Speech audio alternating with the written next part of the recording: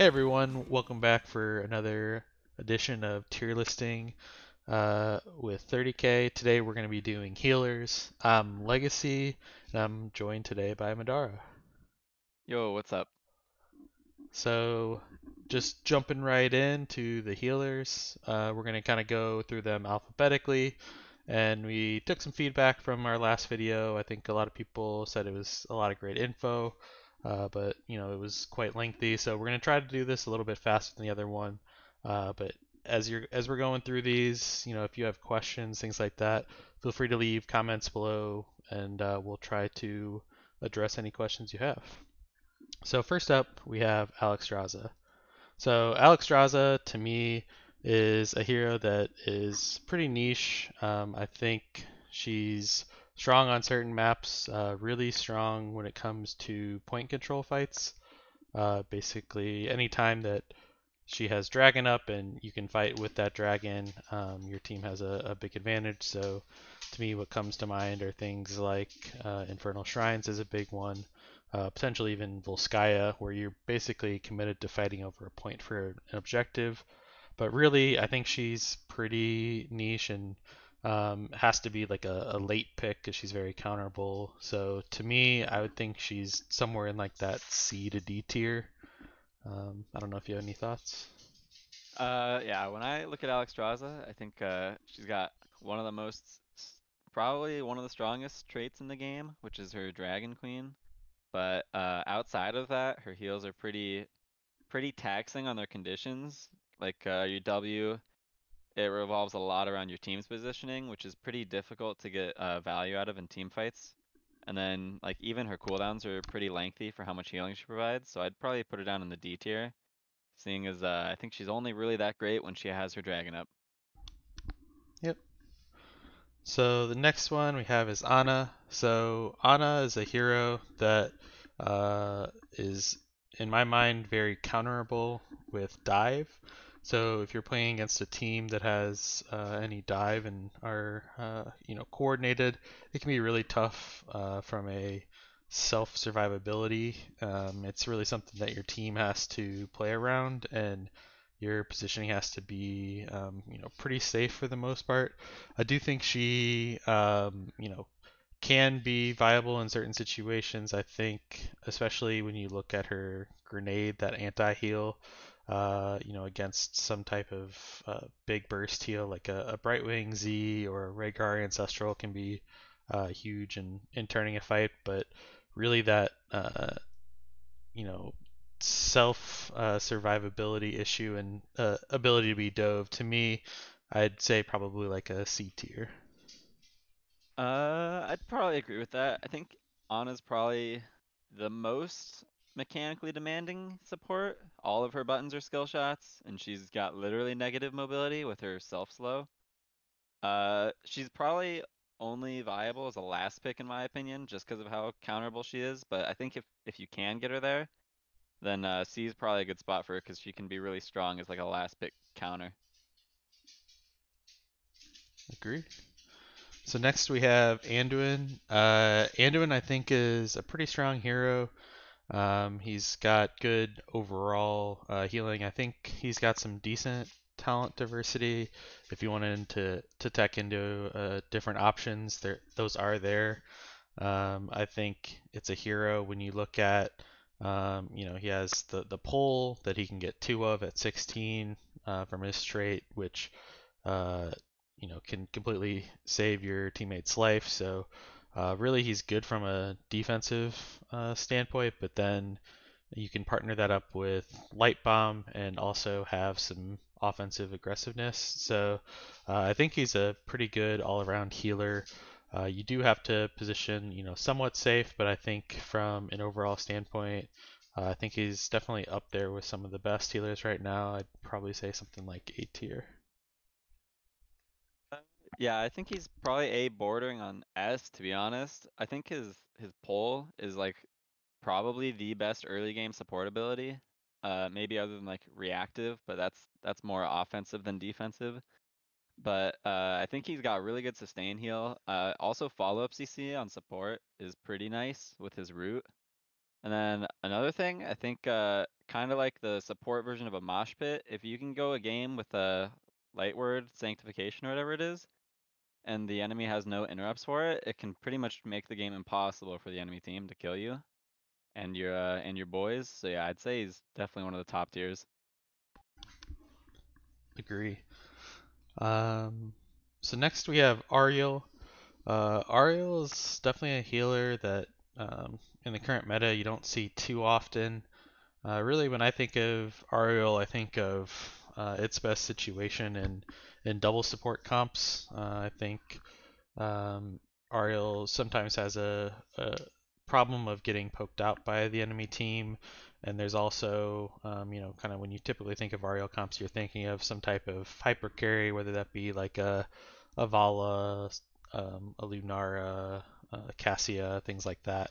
So I, I, think we don't see too much of her, um, but I think she definitely can be played, but it's so uh, situational in the entire team. It seems like needs to really be built around it. That uh, to me, I'd be thinking of like in that like D maybe C tier uh, area. Uh, I kind of agree. I think I was thinking D to F, so probably stick in the middle and D. But mm-hmm. I think uh, she's way too comp dependent to be viable, especially with uh, how her healing works. I feel like if you're behind in a game and you don't have a a specific like Omega battery, like a Gul'dan or a Valla maybe, then she's gonna get very, very little healing done in team fights, especially if uh, you just can't have anyone that generates enough uh, energy for you. So yeah, definitely a, a D tier probably. So next we have Brightwing.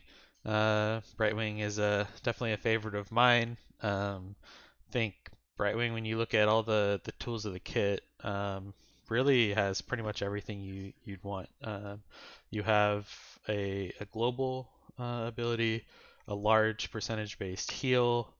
Uh, you have your own mobility and savability with blink heal.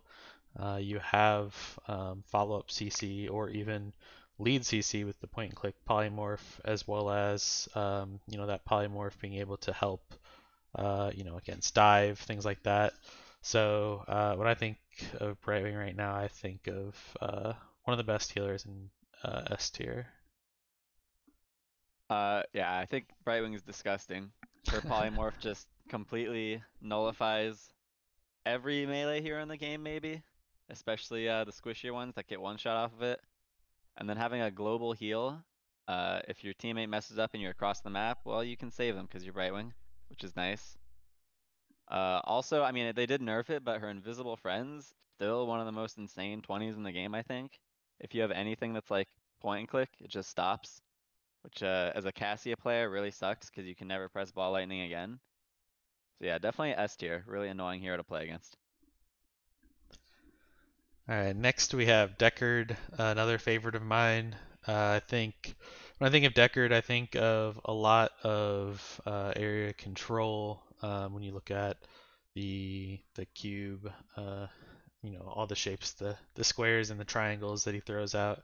Uh, but then you have uh, the potions that you can really set up around an area, as well as you know the the sleep or Lorenado, both good area control. So really, uh, Deckard uh, excels fighting around uh, specific points, uh, especially when you can be set up in advance. Uh, one other big thing that Deckard can provide is anti-heal. So, you know, similar to like, you know, talked about with Ana Grenade being a huge uh, tool in team fights, the Emerald can be, um, you know, a huge way to help secure kills, um, you know, following up on, on CC and team fights to secure those kills. So uh, I think Deckard for me is probably right around like the B tier think he's slightly below some of the the um, you know top supports that we're seeing right now, but I do think he's up there and, and in my opinion under underplayed in um, CCL right now. Yeah, I think uh, Deckard's burst healing with uh, shield pots at four, and if you go big pots at 13, but even if you don't go, his uh, his saving power is really insane, especially if you can, like you said, get your pots set up. Only problem he has is uh no cleanse, which is kind of important for the way he heals. If your teammate gets stunned and can't move to your pots, then your healing is essentially nullified. But I think despite that, with the amount of CC and zone control he gives, uh, I think he still belongs in B. I think uh, if he did have a cleanse, then he would definitely be a an S or an A tier healer. But I just think they uh, they needed to find a way to nerf the old man, so that's probably how they did it. yeah, I agree. I think uh, really the only downside to his kit is not having a cleanse. Um, yeah. All right, next one we have is Kharazim. Kharazim is another healer that I think is pretty situational. Uh, I think Kharazim is best on uh, maps with heavy rotations, and um, if you can build a comp that either has some type of, um, you know, I think of things that go well with it are, you know, like a where, you know, your team is get getting kind of excess, uh, you know, shielding where like the lack of heals don't matter um, or uh, a team where healing isn't as uh, necessary. You know, I'm thinking about paired up with like a Phoenix, something like that, that you know doesn't require as much healing output uh, and also has the mobility with it. So uh, when I think of Kharazim, I think of maps like Dragonshire, uh, Cursed Hollow, things where there's a lot of rotations and um, can really play with the uh, mobility. one thing that's nice with Kharazim is you can uh, really go either old. I think we see mostly seven-sided picked uh, for for help with securing kills, but uh, using Palm um, when used correctly and effectively, it, it can be um, massive for for swinging team fights. So, um, and then lastly, kind of the thing to note is that he can tech into cleanse at 16 and have uh, you know multiple uses. You know he has the three dashes, and you can also get more dashes at 20 if you choose to go that route. So uh, he's able to cleanse and support his team uh, quite well from from that front. I'd probably say somewhere in what I'd kind of say is like the situa- situational later pick tier is like C. Yeah, I'd probably agree that he's more situational, a little bit like Ana, but uh, I think uh, instead of relying more on not getting countered by the enemy team, he relies a little bit more on the map choice and uh, what the rest of your comp is. I think if your comp's identity is to maybe look for picks in rotations like you were saying, or maybe even to dive, then he's pretty good, but his healing throughput is quite weak.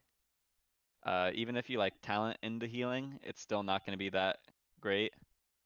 Uh, I think his strength shines in being more of a, a damage outputter. So yeah, I think uh, if if you're looking for that niche in your healing slot as a later pick, then then he can be good. So I'd agree with C. All right. Next we have Lucio. Um, right now, uh, I think for the first half of CCL, he's pretty much been permabanned. If that uh, gives you any inclination of where he should go, uh, basically before dropping him in S though, uh, I'd say you know what Lucio gives to a team, you know, uh, I think move speed, just in general, kind of starting with one piece of his kit. Uh, I think almost any time you have a the option to tech into move speed in, in any MOBA, it seems like it's it's a it's a huge thing that people always want, and uh, you know, it fundamentally changes like how heroes can be played, how rotations can happen, things like that. So uh, just the move speed alone uh, is such a huge asset to a team. Uh, Lucio being able to you know attack while moving and moving fast around uh, walls can really uh, hurt an enemy team in terms of rotations uh, and help your team be able to rotate faster in the early game um, and have priority on waves through that. Um, and then kind of getting into uh, at 10, uh, he's able to cleanse everyone on, on the team, including himself, which at a competitive level um, just can be broken at times, which is why you see him, uh, you know, almost permabanned right now. So for me, it's a it's an easy S, probably the best healer in the game right now, um, from my opinion. Yeah, I think uh, ever since the high five got reworked to being a cleanse as well as a self cleanse, uh, he's just been reigning dominant even uh, if you don't go that, Sound Barrier is still a really good ultimate. Uh, and like even the counters to Lucio, if he skill matches them hard enough, they're not even counters anymore, so. He's just a ridiculous hero right now. Yeah. Please nerf. so the next one we have is Li Li. So uh, when looking at this tier list, I think um, viewing most of these as you know how viable they are in solo support comps. Um, in my opinion, Li Li is not very viable from a solo support aspect. I would be putting her in F. Uh, I think if you do run types of double support, uh, especially at the lower levels, um, I think she can definitely be good uh, in double support. Um, but even at, at, higher levels, I think from a double support aspect, it, you know, she brings a lot more damage than most of the other healers. You can tech into a cleanse, which can uh, help if you are running double support and you know your, your other support doesn't have a cleanse. Uh, I think Jugs is an incredibly strong ultimate uh, if the other team doesn't interrupt it. So I think from a double support aspect, uh, Li Li can definitely, um, you know, move up a, a tier or two. But I think from a solo support aspect, uh, she just uh, doesn't have quite the tools that the other heroes have. Yeah, she just doesn't provide enough uh, saving mechanisms. Uh, I think her cleanse is one of the better ones in the game. Isn't? It's a little shorter range than most, though, right? Yeah, it's shorter range, but it it also uh, has the cooldown. benefit of uh, her trait lowering, or yeah. basically whenever she's taking damage, it lowers the cooldown. So it is the shortest uh, cooldown cleanse in the game in theory, I guess, unless yeah. depending on how how many Uther auto attacks are are going through, but, but True. Yeah. Yeah, I'd agree she's probably F tier for healing, but I think the main problem is we're trying to uh, put a DPS character into the healing tier list, so that's probably why she belongs there. Mm-hmm. Uh, next one is Lieutenant Morales or Medic. Um, it's actually a hero I really enjoy playing from a Storm League perspective. Um, I think she's only viable as a very late pick and um, on certain maps. I think Morales is extremely strong in the early game, but then pretty much once 10 hits and if the other team has drafted any kind of uh, dive uh, and they have their ultimates is really when you see Morales become a liability. So, you know, from from my perspective, I only see her as like a, a Braxis, um, you know, win early game and, and snowball kind of a hero. Uh, and competitively, I don't think she is very viable outside of you know Juice Pirates or something that's you know full cheese. But uh, I, I would put her at F. Uh, yeah, I'd agree. I think uh, she ends up becoming something that you have to protect instead of something that protects you, which is normally what a healer does. So, pretty uh, bad normally. Yeah. Uh, next we have Malfurion. Uh, Malfurion I think over time as you know, uh, you know, back in HGC days was, you know, first pick healer. I think there's been you know times where Malph has you know dropped maybe as low as C. Uh, but right now, I'd say Malph is after uh, the most recent changes that Malph had that gave the sleep on the root. Um, it it really brought uh, Malfurion back into a, a decent power uh, spot. Malfurion is, uh, you know, a hero that really enables some of those uh, dive heroes like Tracer, you know, Genji, things like that, that uh, you can get a heal on and support them even if they're, you know, a screen away. Uh, Malfurion, um, especially with Tranquility, is uh, while he doesn't have the ice block he used to and uh, is diveable, Trank uh, provides, you know, the, the armor and a lot of self-sustain and um, I think he's a pretty strong healer. Uh, his cleanse isn't as strong as um, some cleanses in terms of uh, just removes a CC. It doesn't, you know, make them unstoppable for a second. However, you can use it on your entire team, so it does have some increased effectiveness against things like your whole team getting uh, arrowed by Hanzo and getting stunned. That you can cleanse all of them if you have a heal on them. So I think Malfurion is is pretty strong, I'd say, and right around that A tier. Yeah, uh, I think uh, if you're not too pressured as Malf, you probably I think that's the most healing throughput in the game on one character. So if uh if you can pick him later, then he's and he's not countered at all. Uh, maybe even an S tier character, but because you you can't really just lock him in and do that, think uh A's is a good place for him. I think uh the root is one of the best CCs on a healer in the game. Uh, it's so punishing now with the sleep as well, because there's like that half a second when you're asleep that you can take damage and you still won't even wake up. So it feels really broken, especially as a follow-up. Uh, the cleanse is a little bit janky just because of how it works, and there's some things that you can't even cleanse. I'm I'm pretty sure. Mm-hmm. So that makes it a little bit weaker, but like you said, the fact that it affects everyone that has your uh, your hat on it makes it makes it a little bit uh, recoverable. Yep. So next one we have is Rehgar. Uh, Rehgar, after the most recent buffs, I think is in a pretty solid position. Uh, I think when he first received the buffs, he was too strong, and so uh, after the nerfs, I think he's sitting in a pretty good spot.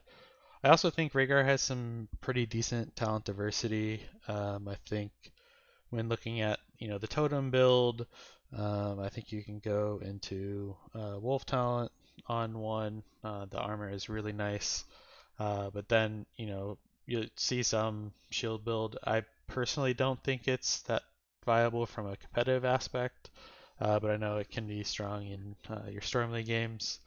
Um, I'd say Rehgar for me, one of the other big things is he's one of what I guess three heroes that have a, a baseline cleanse. So you know, right from level one, he has a cleanse, um, but he can also use it offensively, and uh, using purge offensively uh, can be a great way to secure kills, especially in the early game and uh, help to push that lead. Uh, you know, purge. You can also get the the anti heal if you're you know facing you know a, a Brightwing Z or something like you know some big burst heal, for instance. The anti heal can be nice on a kill target, uh, and you also have the ancestral healing that you know provides burst heal. So you know between his his AOE heals with his chain heal, uh, his cleanse, and the burst heal from ancestral uh, as well as the option, you know, some games to look at Bloodlust. Uh, I think he's sitting in a pretty good spot. I'd probably say something like A. Yeah, uh, really good consistent healing, like you said, really good burst healing, and the level one purge, uh, baseline is really good. Uh, I think when he had his totem build at full power, he's probably S tier, just because of how impactful it was at shutting down the enemy team. But after the nerfs, it's a little bit more tame. I think another good thing about him is uh, he brings macro to your team from a support role, which only like a couple characters do, and having your support able to clear waves and do camps just makes uh especially early game macro a lot easier and simpler, which uh, I think is pretty valuable from a competitive standpoint. Next up, we have Stukov. So Stukov, uh, is a hero that I think has been pretty strong for a while now. Um, he's had, you know, slight uh, changes here and there.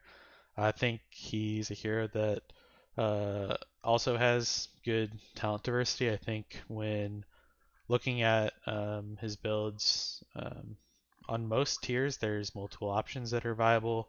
Uh, whether you look to go into his like reactive build or whether you go into his uh, silence pool e build. I think both can be strong in specific situations. Um, so it's nice to have some diversity um, from that talent pick perspective. Uh, looking at his ultimates, um, both can be good for you know creating space or you know as a save.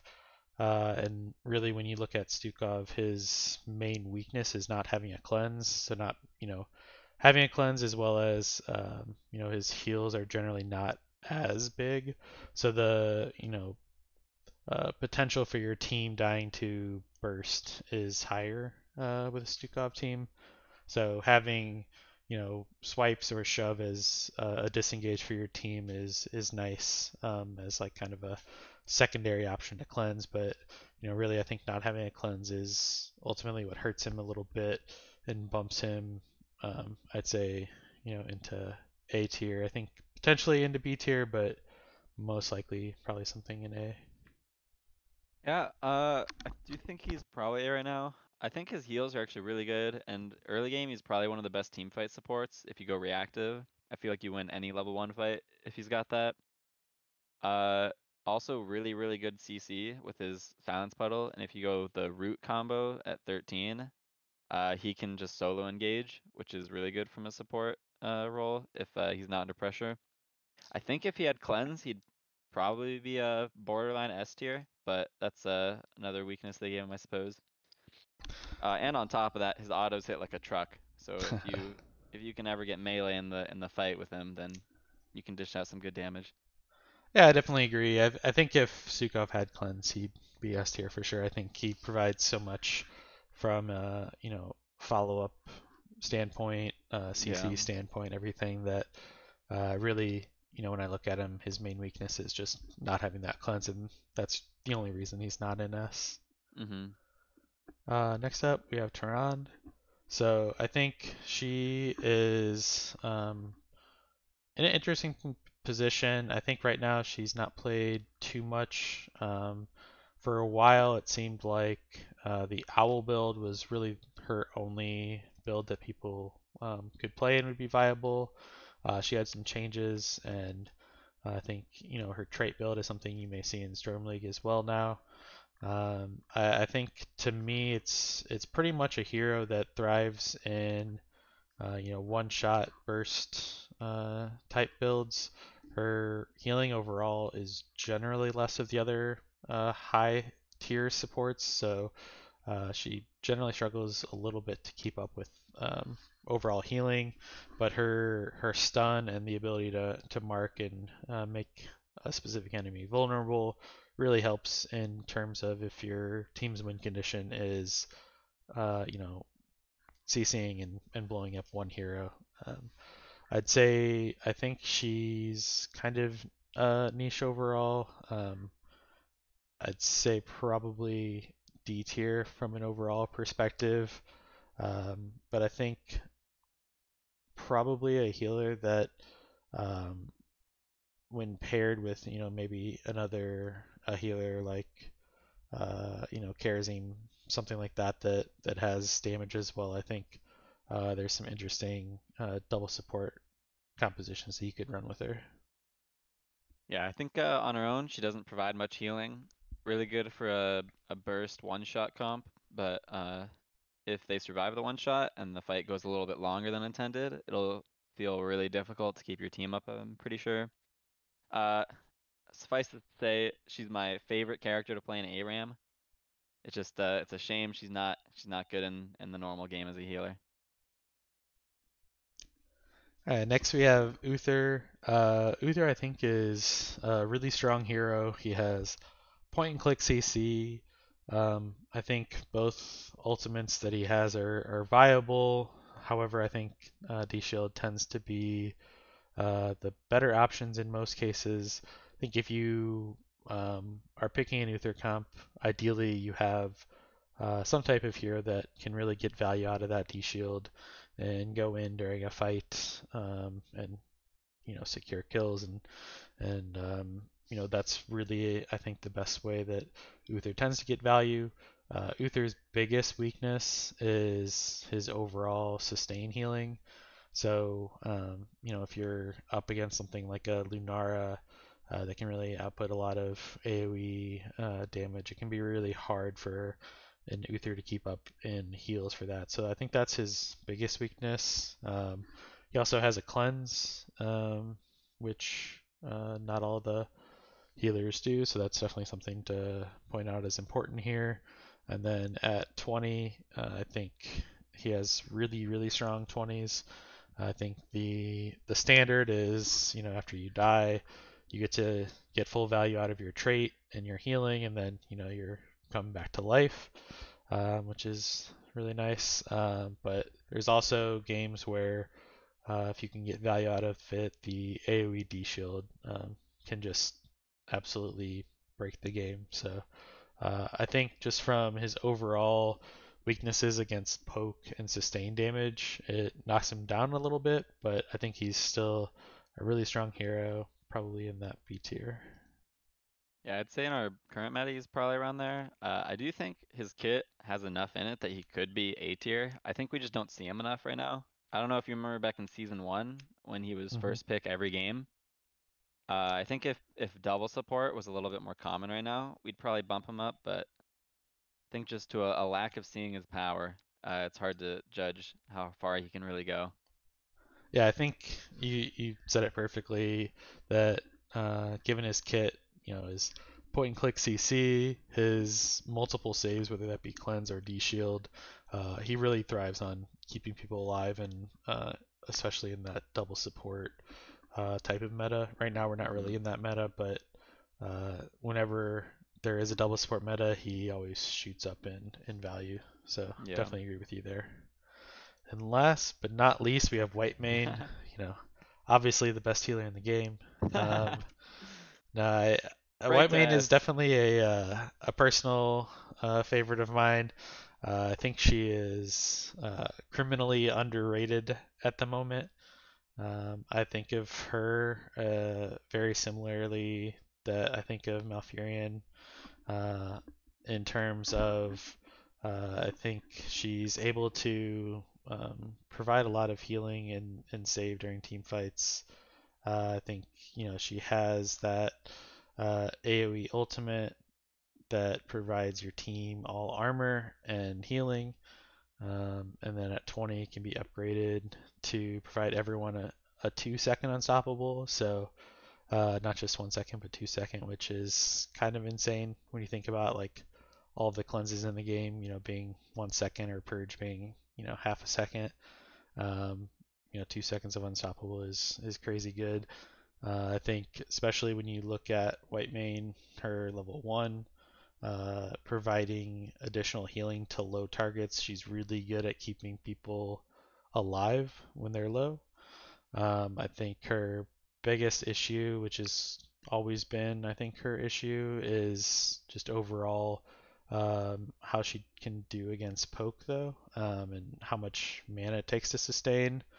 Uh, but I, I think if if you juggle it well and you um, are playing the fights correctly and your team's not taking too much free damage, that uh, it's less of an issue um, than most people um, think it is. So I would probably be looking to put her at B, but I'm sure uh, you might have a differing opinion.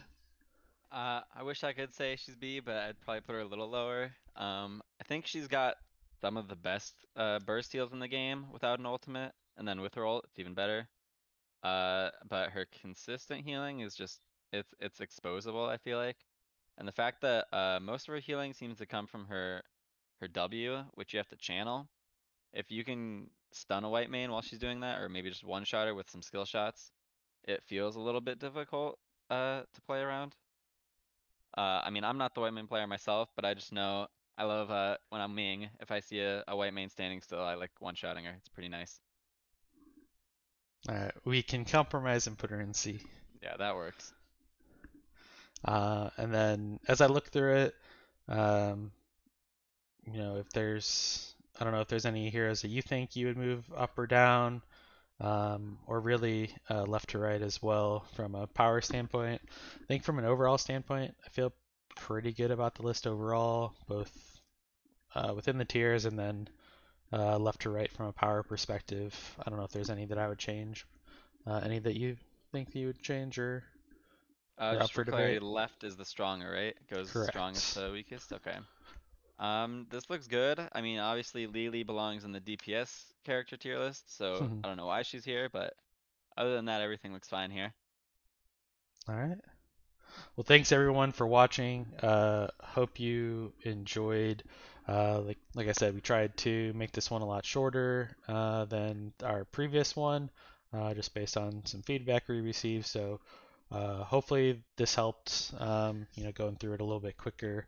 As I mentioned below, uh, before, though, uh, feel free to post you know comments if you have any questions. Um, you know, we'll look through this and try to answer any questions that you have. Um, Madara, where can anyone who's interested, uh, where can they find you? Uh, I don't stream much right now, just because of uh, living conditions, but twitch.tv slash Madara Hots, and then Twitter, uh, underscore Hots, and then CCL is where I'll be playing mostly. All right.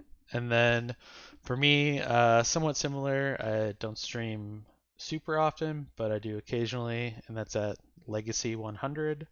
And then uh, at Twitter, um, uh, the Twitter at is Legacy underscore Hots.